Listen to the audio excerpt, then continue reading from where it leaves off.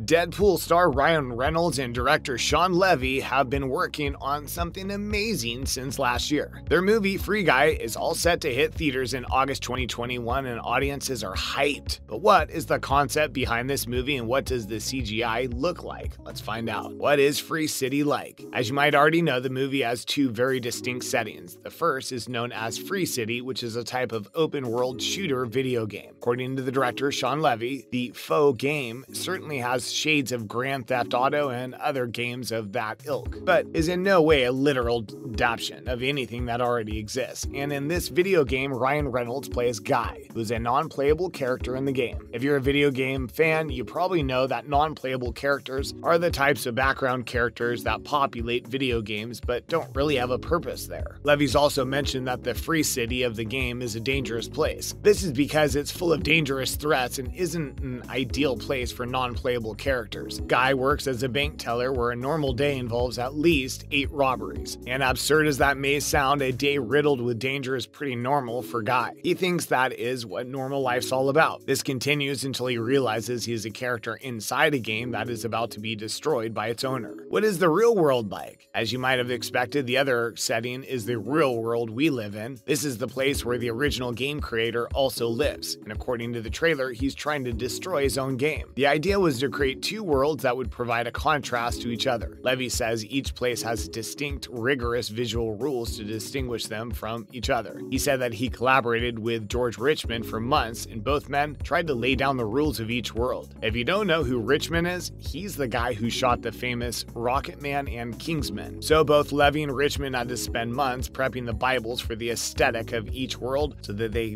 felt different from each other. How will the film appear to non gamers? As you probably already know, know, this film is about a video game world. This means that a large chunk of it also takes place in a CGI controlled video game. But even then, the filmmakers have insisted that the film isn't exclusively for gamers. According to the director, if the cast and crew are able to do their jobs well, the film will appear to both gamers and non gamers. He also said that the film's supposed to make gamers feel seen and recognized, but it should also be more broadly resonant and relatable to non gamers too. And if you're wondering about what Reynolds has to say about the plot of the film, he's in love with it. In fact, Reynolds recently compared Free Guy to another genre. He tried to explain what Free Guy was trying to do by giving examples of how the greatest sports movies are never really just about sports. They use sports as a vehicle to tell beautiful stories about relationships and people. According to Reynolds, Free Guy tries to do the same thing when it uses a video game and gaming culture to tell a story about humanity and freedom. He also admitted that the movie is sentimental and has a strong message about love and autonomy. But filmmakers have explained that even though the movie comes off as a little sad, it is funny. And the great thing about the movie is that its setting also allows for creative freedom that both gamers and non gamers will enjoy. The rules of reality don't exist within the movie. This is probably because there are a ton of action stunts and CGI work dominating most of the movie. Will we see real human avatars? Unlike some other movies that use digital avatars within their video game world, all the characters in Free City are played by real actors. According to the filmmakers, this will make a big difference and will also add to the comedy in the movie. The idea of real life avatars might seem a little complicated, but it's simple. These avatars will be part of the game world and will dress and look like real world people. And because of this, many of the film's costumes are original, also, and much more conceptual. The game world set also looks like an old Hollywood studio since they want the characters to have their perfect setting in the game. You might not believe this, but the filmmakers spent hours designing each of the 47 avatars, their costumes, and the sets they were supposed to be in. They also had a CGI team editing the set constantly to make it seem a little more animated than usual. This is probably because they wanted to bring more attention to the game aspect of the movie. The filmmakers also wanted to highlight non playable characters in the movie who lived in simple settings. Is this a superhero story? Even though Free Guy looks like a fun action movie, Levy and Reynolds have stated that they think Free Guy is a type of superhero story. Even the superhero wears khaki pants and works at a bank. A turning point is when Guy realizes he is in love with Molotov Girl. She is Comer's video game avatar and a cool character. But Guy soon discovers that she is literally out of his league because he's a level 1. He also realizes that if he wants to make things work with her, he'd probably have to level up, but he doesn't want to commit crimes and he doesn't want to kill anyone. He's the perfect superhero because he doesn't even want to shoot a gun in a violent video game. This is also why Comer's character tells Guy that if he doesn't want to be the bad guy, maybe just can be the good guy. But the game continues to get interesting because Guy can still be harmed in this video game world, even though he can't be killed. Guy can get seriously injured and might even lose his memory or ever being alive. That would be cataclysmic since we need the superhero figure to be present constantly. It's also bad for Molotov Girl, who will probably need an ally in the game. What's Comer's job in the movie? Comer is one of the main characters in the movie. She's also the film's actual protagonist. According to the director, this is because she plays a major role in both worlds. It's also important to note that the two versions of her are very different, and there has been a ton of CGI work done just to make her seem different in both worlds. There is one similarity between Comer in the real world and her character in the gaming world. In the real world, she is Millie, the video game designer behind Free City, and according to the story, Millie created an original code that was stolen and then changed. We don't know who stole it or how it was changed, but that made a big difference in her life. But in Free City, she's Molotov Girl, and as you probably already know, Molotov is very physically strong and does a ton of impressive things. Millie's more introverted and doesn't enjoy confrontations as much as Molotov Girl does, but they share a certain kind of resilience, which makes both characters special. The wonderful CGI work. It's no secret that this film uses CGI. How else would they create a movie that included a whole video game world? The audience will probably get to experience some detailed CGI, and we've already seen a glimpse what it looks like in the trailer. When Guy puts on glasses that reveal the video game world he lives in, you can see how different it looks from the real world. You'll also see how similar it is to actual video game. But sadly, the trailers don't accurately convey how much the film also relies on practical effects. According to Levy, the film couldn't have been shot without CGI, and NPC was on fire during the whole movie is because the team decided that they wanted to include a ton of effects. This is why they have this one man on fire who just runs through the background of flames half a dozen times during the movie. But practical effects come in with every own set of challenges, especially when a real person's on fire. A guy that was lit on fire also had to be timed very carefully because if he was rescued late, he could have sustained some serious injuries. The desire to use as many practical effects as possible also required some detailed planning, and both the crew and the CGI team had to put in many hours of hard work to make this happen. Do you think this movie is going to be praised for its CGI, or will it be a disappointing mess? Let us know in the comments below. Be sure to subscribe. We'll see you next time.